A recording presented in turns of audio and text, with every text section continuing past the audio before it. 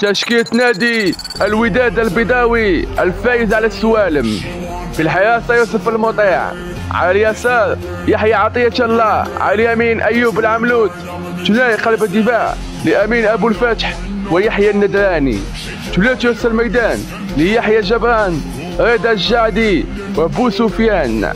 ثلاثي خط الهجوم لسيف الدين بورا محمد النجم والسنغالي بولي سامبو.